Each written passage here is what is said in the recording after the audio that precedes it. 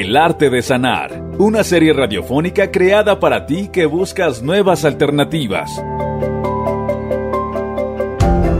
El arte de sanar.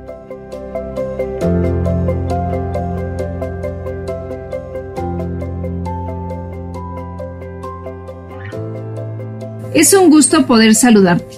Te doy la más cordial bienvenida. Yo soy Itzi Dafne y estás en tu programa El arte de sanar. El tema de hoy, cómo mantener una salud bucal en tiempos de pandemia. Para abordar el tema, tenemos el agrado de recibir en el programa a la cirujana dentista Gabriela Arley Cárdenas, a quien le damos la más cordial bienvenida. Gracias por acompañarnos en el programa. Muchas gracias por la invitación y un placer este, acompañarnos y sobre todo poder este, con un poquito de conocimientos que aprendan un poquito más para disipar las dudas. Gracias, doctora. Estamos en unos tiempos difíciles. Sabemos que estamos ahorita enfocándonos mucho en el sistema inmunológico, en el cuidado de la alimentación, pero creo que también un punto importante es el cuidado bucal. Eh, ahora que no podemos salir y no podemos darnos ese lujo de asistir al dentista, bueno, queremos que nos comparta un poquito a saber más sobre la salud bucal. Es difícil asistir en tiempos, por ejemplo, es depende de la semaforización sobre la que estamos trabajando los cirujanos dentistas. Para el semáforo rojo, lo recomendable es que debemos de valorar en cada paciente depende de la semaforización. Por ejemplo, en semáforo rojo solo podemos atender las urgencias, ¿no? Canalizar los traumas faciales y infecciones como sepsis, ¿no? Eh, que invaden los espacios aponeuróticos y las glándulas, infecciones de glándulas salivales y sobre todo evitar los aerosoles, ¿no? Cuando, ¿a qué me refiero con los aerosoles? Todos los procedimientos que se hacen en odontología y que van a generar que la saliva salga volando, ¿no? Como lo podemos evitar en este tema es cuidar nuestra salud bucal para evitar infecciones. Si ya tienen una, una infección crónica, entonces, lo mejor sería primero concertar una cita a través de, por ejemplo, vía Zoom o eh, primero por, por telemedicina, que es una nueva forma de hacer odontología. Desafortunadamente en, semáforo rojo, pues lo que queremos es evitar los aerosoles y lo que nos genera son esos aerosoles es la, las limpiezas bucales para quitar sarro, todo lo que sea abrasivo, ¿no? Lo podemos evitar eh, quitando sarro, infecciones bucales a través del, cuidado dental que tenemos por la técnica de cepillado, checando el biofilm que la mala técnica de cepillado nos puede generar y generar una infección dental en las encías, ¿no? Usando juagues bucales, hilo dental. ¿Usted qué nos recomienda ahorita con el uso del cubreboca? El uso del cubreboca, lo recomendable es que lo estemos lavando cotidianamente. usamos la mascarilla de tela, llegando a casa, lavarlo, desinfectarlo, lavarlo con agua caliente y ponerlo al sol. Pero lo, que no recomendaría es que eh, se quiten los cubrebocas y dejarlos por todos lados, ¿no? Por toda la casa, en algún lugar donde llegue la gente. Lo que yo he observado es que la gente pues, lo deja en todos lados y luego se los llevan a la boca. La boca es un, tenemos un gran generador de, bacterias, virus y hongos eh, a través de la boca, ¿no? Entonces, si le damos un agregado con los cubreboca y nos llevamos este a la cara, pues esto nos, nos va a hacer eh, que generemos una infección y sobre todo quitarnos de la cabeza que el que tener un cubreboca me va a restar que yo esté menos expuesta a alguna infección. Es al contrario, yo tengo cubreboca, tengo mi boca más caliente, la tengo cubierta todo el día, se les olvida lavarse la boca y eso nos va a generar que se nos vaya a hacer eh, una, una infección en encías, en dientes, y tenemos que ser muy precavidos, ¿no? Si voy a usar un cubreboca, lo puedo traer, voy a llegar a algún lugar, meterlo en una bolsita, ¿no? Para para no, no estar expuesto más a más bacterias y a, más virus asociados a los que ya existen ahorita, ¿no?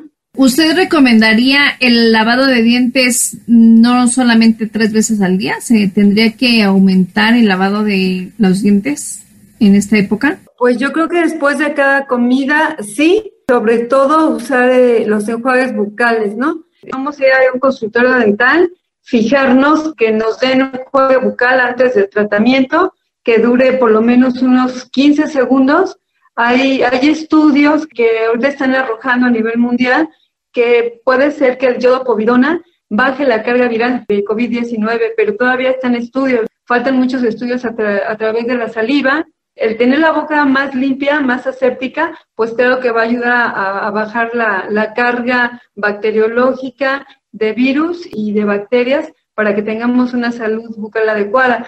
No, no precisamente 10 veces al día, pero sí ser más, más precavidos, ¿no? Después de cada comida, pues un cepillado y en la mañana, en la noche usar el enjuague y el hilo, que es fundamental para darle salud a, la encía y que no estemos este, sangrando y eso nos va a evitar ir a la consulta en este momento, una consulta innecesaria y una infección innecesaria.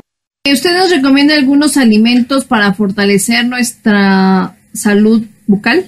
Sí, yo eh, recomendaría más, eh, por ejemplo, manzana, eh, comer más fibra, evitar los refrescos, evitar alimentos muy azucarados con fructosa y después, por supuesto, después de cada tratamiento, después de cada comida, lavarse los dientes. Y sí quiero ser enfática para evitar una infección dental, nos vayamos a exponer en el, en el consultorio a, a, un lugar donde se están generando aerosoles, ¿no? Y eso pues nos va a hacer respirar y nos va a exponer más a una infección como COVID-19.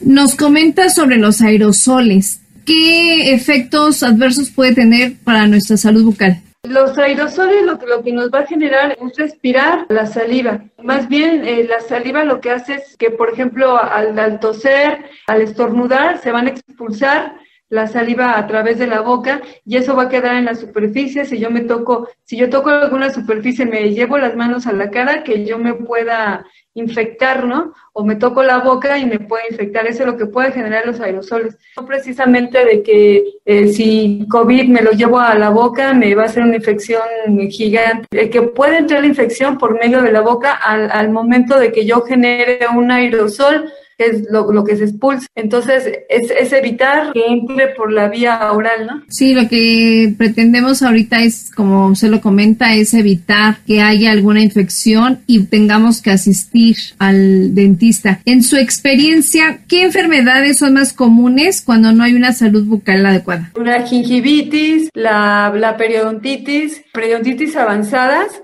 que eso va a generar que se pierdan piezas dentales, que den mucha movilidad, caries de un grado 3, que nos puede llevar un procedimiento para una endodoncia y, que se tenga que extraer el nervio. Eso es, lo, más común, ¿no? Lo menos común sería un cáncer bucal, ¿no? Que eso nos, también nos, nos generaría que nuestro sistema inmunológico esté muy deprimido, ¿no? Pero entre lo más común y entre el 90% de las enfermedades bucales encontramos a la caries dental y a las enfermedades periodontales. Cuando ya hay una infección ya muy avanzada, ¿habrá algún tratamiento que puedan seguir en casa sin necesidad de ir al dentista? Esa pregunta es bien importante porque eso nos va a dar un poco de, seguridad, de, no tener que irnos hasta, hasta el consultorio, ¿no? Y hay procedimientos que se pueden hacer por medio de telemedicina, por ejemplo, las infecciones bacterianas que se pueden tratar con antibacterianos, antibióticos quizá la, micosis, ¿no? Por, por aplicaciones. Eh, por supuesto, los virus, pues no, no los podríamos tratar de esa manera, hay que dejar su curso, pero sí se puede utilizar en la, en la consulta normal y por medio de teleodontología, controlar una infección bacteriana, sí, por supuesto, por medio de los antibióticos. ¿Cuánto tiempo dura una técnica de cepillado? Pues debe durar aproximadamente cuando estés aprendiendo cinco minutos. Cuando eres así como muy eficaz, unos tres minutos, ¿no? Pero en un aprendizaje, pues unos cinco minutos en lo que dominas, después ya seas muy rápido. También eh, hemos escuchado de los mitos que tiene el flúor. ¿Nos puede compartir un poquito acerca de ello? ¿Qué tan importante es y qué beneficios trae para la salud bucal? Pues tiene más beneficios que, inconvenientes. Nos va a prevenir de la caries dental, nos va a fortalecer los dientes, pero aquí también depende mucho de la, de la cantidad de, pasta de dientes que le pongamos a, un cepillo. Generalmente estamos acostumbrados a que nuestra técnica de cepillado eh, la hacemos mal, ¿no? Por ejemplo, lo primero que hacemos es enjuagar el, cepillo, lo mojamos, lo superllenamos de pasta dental, dejamos una plasta. Cuando el cepillo se tiene que usar en seco, tenerlo en una superficie que esté seca fuera del baño y la pasta dental pues se tiene que usar como si fuera una embarrada de mantequilla muy poquito, o sea, entre menos, entre menos espuma se haga y todo, es mejor porque tenemos eh, la certeza de que vamos a tener una, una, buena técnica de cepillado. Y a veces confundimos con ponerle mucha pasta y nos queda un buen sabor, pensamos que hicimos bien las cosas cuando no, no llevamos una, una buena técnica de, cepillado. Entonces, tiene mucho más beneficios la pasta dental generalmente no son tóxicas porque están estudiados y tienen la, la, cantidad exacta que debe de llevar y eso pasa por una asociación y estudios previos. Entonces, pues también si hay dudas, por ejemplo, cuando vamos a llevar a los niños a que les pongan la aplicación de flúor, hay, hay métodos que se utilizan para que no, no se traguen el, el flúor y no pueda ser tóxico, ¿no? Los vamos a aislar. El método que se utiliza se hace una profilaxis previa, se hace la limpieza y al final pues ponemos flúor y generalmente se aísla, se ponen algodones o lo podemos aislar por medio de un pique de hule para que no sea tóxico el, el flúor dental, ¿no? ¿Cada cuánto tiempo es eh, recomendable aplicarse el flúor? Cada seis meses en los niños. En los adultos, bueno, pues ya hay nuevas generaciones de de flúor que pueden ser tópicos que también nos pueden ayudar, puede ser cada, cada año, ¿no? En caso de, que si queremos evitar una caries incipiente, pues nos queda a, fortalecer, ¿no? Es momento de irnos a una pequeña pausa, vamos a un corte y regresamos con más del tema, cómo mantener una salud bucal en tiempos de pandemia. Regresamos.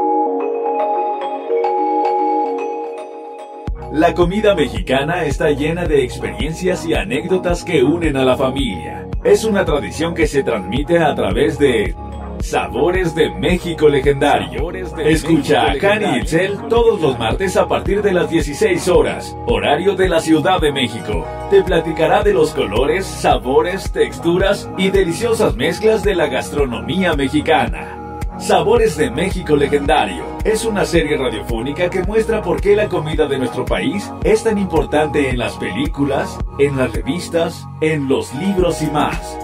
México Legendario, la puerta a la cultura.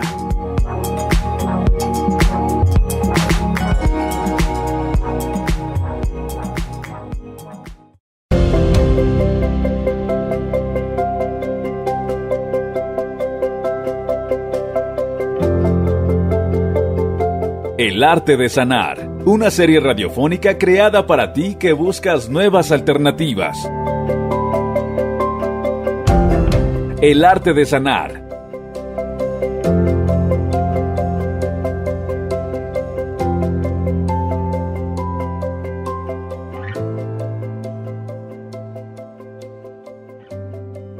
Estamos de regreso con la dentista cirujana Gabriela Arley Cárdenas. Doctora, en este momento, doctora, ¿cómo ustedes manejan a sus pacientes para evitar todo tipo de contagio? Un protocolo. Generalmente las citas se tienen que hacer previas por medio de teleodontología para valorar al paciente. Después de que se valora, se tiene que hacer una cita programada. Siguiente la visita programada tenemos antes de, la, de, que asiste el paciente tenemos que hacer una encuesta donde tengamos que saber si estuvo cerca de un paciente positivo o, no lo tuvo, si tuvo contacto con alguien del extranjero, si en su círculo más cercano hubo algún positivo y valoramos qué tan urgente o qué tipo de atención es la que se va a requerir el paciente para que entonces en caso de que, de, que tenga una prueba de que es negativo, o en caso, ¿por qué no?, de que alguien tenga COVID y requiera una atención dental porque no estén exentos de un paciente con COVID, de que tenga alguna infección, aunque quizá no sea un paciente muy grave, pero algún paciente eh, quizá que sea sintomático o que no tenga la enfermedad más, eh, más, progresiva, que darle la oportunidad de que se pueda atender, se tienen que atender. Entonces, eh, se tiene que preparar el consultorio para recibir a algún paciente en caso de que sea positivo o no sea positivo, porque, bueno, pues eh, todos somos sospechosos hasta que no, no se mucho lo contrario. No podemos darnos el lujo de atender un paciente como si no tuviera COVID. Hay que tratar a todos los pacientes como si tuvieran COVID. Entonces tiene que preparar el consultorio para la llegada del paciente por medio de desinfección de manos, pasar por, por el tapete y retirar revistas, eh, retirar todo lo que me pueda generar que en caso de que un paciente sea positivo y de que estornude o hable, eh, me pueda generar algún aerosol que se pueda caer en alguna superficie. Entonces, eh, se tiene que pasar al consultorio, nosotros nos tenemos que recibirlo, debe haber una persona que tenga que, recibirlo con todas este, las medidas de protección personal. A, a, la llegada al consultorio también se tiene que preparar la unidad dental aislarla con, con papel especial, todo tiene que ser desechable y prepararnos, por, somos generadores de aerosoles, ¿no? Para que el paciente esté protegido y nosotros mismos estemos protegidos, pero siempre tenemos que, nos tiene que firmar el paciente antes de llegar un consentimiento informado de que acepta el tratamiento y de que va a aceptar las medidas de protección personal, ¿no? Eh, siempre eh, proteger al paciente con dique de hule siempre y cuando el tratamiento lo permita, ¿no? En caso de odontología de operatorio dental, de quitar una caries, evitar por todas las maneras el generar aerosoles por medio de la, del dique de hule y la succión, alta succión. Y antes de, empezar el tratamiento y poner algún dique de hule, pedir al paciente que se enjuague con un enjuague bucal, ¿no? Ahorita ya hay estudios donde están sugiriendo que se utilice el yodo povidona por 15 segundos antes de atender un paciente de manera dental para que este baje la carga viral si es que tuviera COVID o baje también la carga de microorganismos y, hongos eh, para que no, no se, para que no nos, eh, no, no nos expongamos tanto el paciente como nosotros, ¿no? Y eso, bueno, se están estudiando los enjuagues bucales para, para saber si están bajando la carga viral y cuánto tiempo nos va a ayudar a bajar la carga viral por, por COVID-19, ¿no? Pero todos los pacientes que lleguen tienen que ser tratados como si todos tuvieran COVID con, con esas medidas. Nosotros eh, tenemos que tener todas las medidas de protección personal en cuanto a guantes. De, para luego se recomienda que sea doble, hasta triple guante, ¿no? Pues eh, más o menos tiene que ir en ese sentido. Sabemos que ha habido muchos mitos en cuanto a la pandemia. Los bucales eliminan el virus antes de que llegue a la garganta o a alguna célula? O sea, sí es importante el enjuague bucal que contenga eucalipto o son puros mitos? No, no, es lo que se ha estudiado eh, son los reactivos de los enjuagues bucales que estos son, van a bajar la carga viral. se mencionan 10 enjuagues bucales que son efectivos, no con eucalipto, más bien los que tengan alcohol son los que nos van a ayudar, que van a la, a la cabeza de, estos estudios, bueno, en, estudios que, que, han hecho, yo algunos datos que nos han dado, baja la carga viral en proporción muy significativa al yodo povidona, Inclusive dicen que hay algunos estudios, por ejemplo, que antes de atender un paciente eh, para bajar la carga viral, para tener una odontología, les piden que hagan enjuagues con yodo povidona por la nariz y 15 segundos por medio de la boca y eso eh, dicen que ellos, eh, que este podría bajar la carga viral hasta por dos horas, pero se va a volver a generar.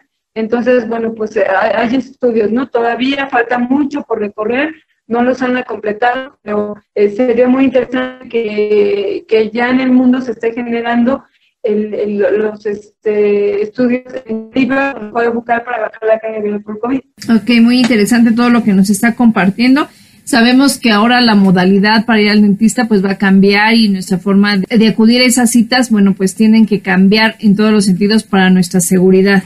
Y bueno, pues también sabemos que tenemos que intensificar un poquito más en el cuidado bucal, ya que que tratamos ahora es de tener ese contacto y ahora con, la gente. Doctora, ¿se ha manifestado algún cambio ahorita a personas que ya pasaron por la enfermedad del COVID, que hayan manifestado alguna anomalía o algún cambio dentro de sus dientes, de su dentadura o en cuanto a su salud bucal? Pues eh, lo, lo, que ha arrojado la literatura es que en algunos pacientes han, han este, ha reportado que el, COVID exacerba eh, la pérdida de dientes, ¿no? En algunos pacientes sí lo han, este, sí lo han manifestado. Bueno, pues aquí tendría que ver eh, la importancia ahí de, en caso de que yo estuviera expuesta o en algún momento eh, te vas a contagiar y tienes una, enfermedad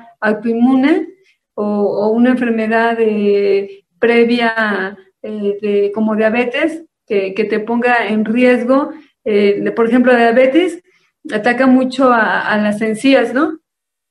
Si vas a, si, contraes COVID, pues eso te va a exacerbar más porque tu sistema inmunológico está deprimido. Entonces, eh, lo bueno, lo que han reportado aquí es por COVID, eh, de la pérdida de, los dientes, ¿no? Se, van a exacerbar las enfermedades periodontales.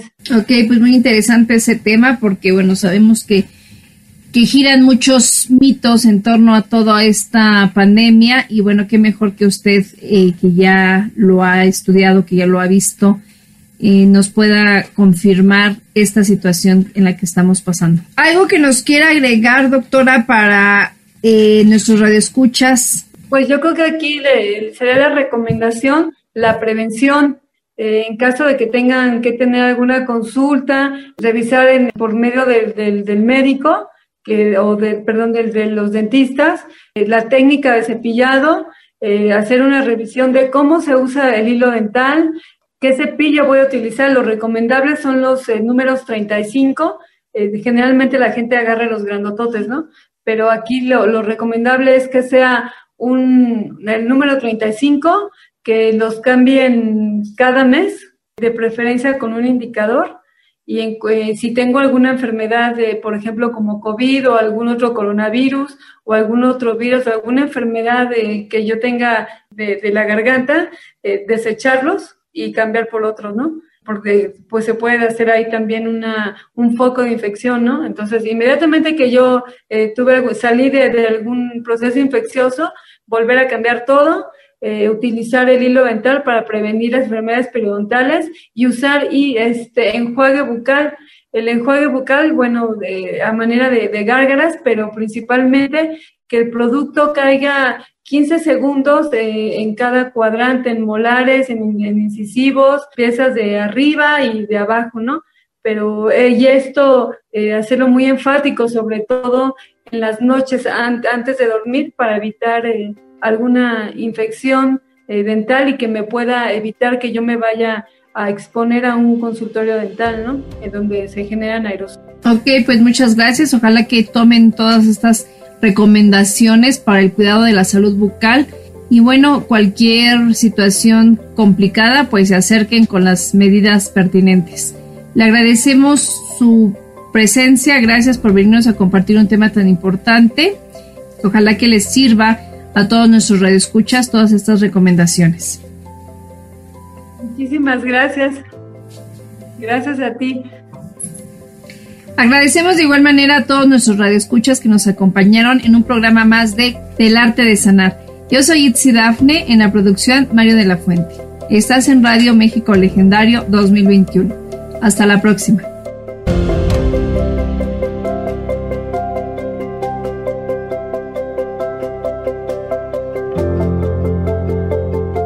El arte de sanar, una serie radiofónica creada para ti que buscas nuevas alternativas. El arte de sanar